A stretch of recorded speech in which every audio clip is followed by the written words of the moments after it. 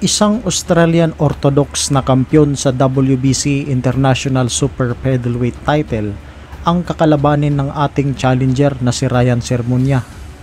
Ang Australianong boxer na ito ay si Matt Garlett, isang orthodox fighter na may tangkad na limang talampakan at siyam na pulgada at may haba ng braso na umaabot sa 175 cm.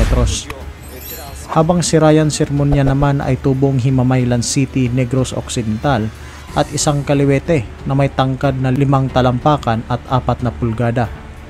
Sa laban na ito, ang kampyon na si Matt Garlett ay may kartadang labing isang panalo, isang talo at anim na knockouts. Samantalang ang ating challenger na si Ryan Sermonia ay may kartadang labing limang panalo, apat na talo at walong knockouts. Sa unang round, nagpakawala agad ng malalakas na suntok si Matt Garlett. Obrotach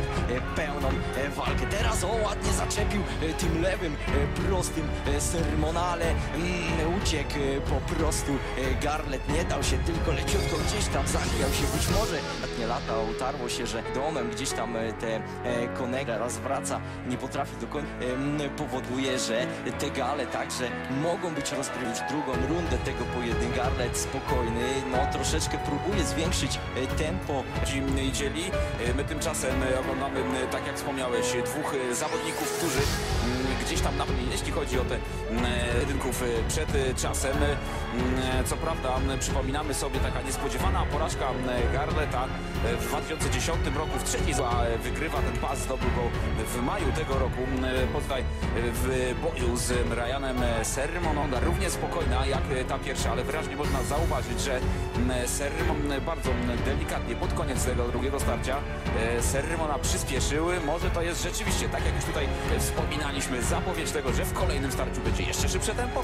No a w e, tym czwartym to już w ogóle e, najprawdopodobniej e, wrzucimy kolejny bieg, ale teraz widzimy dobrze odpowiedział Sermonie e, Matt e, Garlett, tak żeby nie było wątpliwości.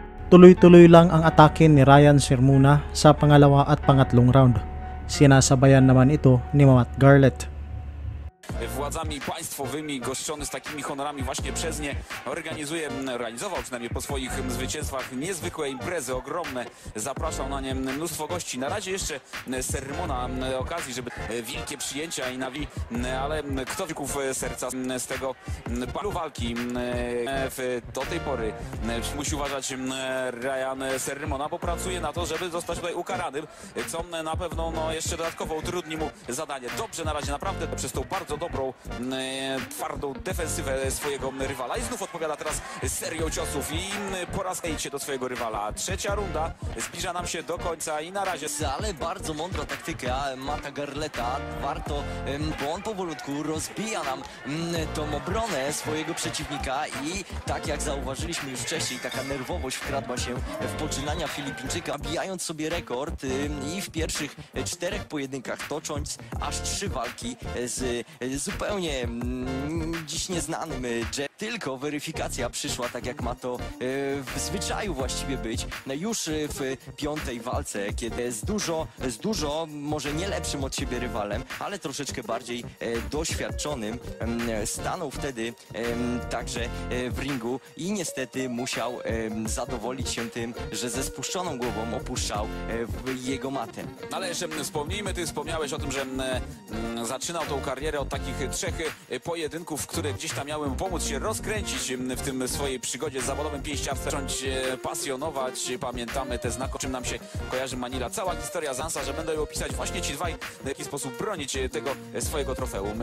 Niby wydaje się, że taki lekko cofnięty, ale dobrze na dystans odpycha swojego przeciwnika. Gdy ten tylko zbliża się, natychmiast zostaje skarcony jakimś lewym, jakimś prawym.